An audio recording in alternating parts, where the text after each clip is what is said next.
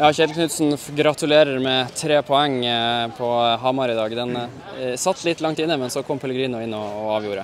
Ja, men eh, jeg syns vi skal se et større bilde enn som så. Eh, ja, Pellegrino er Pellegrino, og han har skåret ti mål eh, på jeg vet ikke, elleve kamper eller tolv kamper. Det er, det er kvaliteten han har, eh, det visste vi. Eh, men det er et eller annet med hvordan vi henger sammen som lag, eh, hvordan vi står for hverandre og spiller på en ja, en uh, fjerdedivisjonsbane og uh, tro at det glir av seg sjøl, det er sjanseløst. For ballen ruller ikke, han hopper.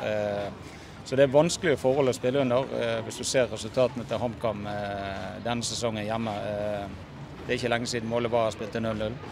Så, så, mener jeg at det er laget som helhet som gjør en en solid prestasjon på en vanskelig bane. Og så er det X-faktoren eh, med Pelle og Viktor. Og jeg syns eh, Gilbert har gått inn og Anders kommer inn og bretter opp og gjør jobben for oss. Så det, det, er det laget vi skal være. Det er ikke alltid ting går på skinner. Det er ikke alltid ting eh, Men vi skal være et 100 %-lag. Og det, det, slo vi tilbake på danske Rast etter en begredelig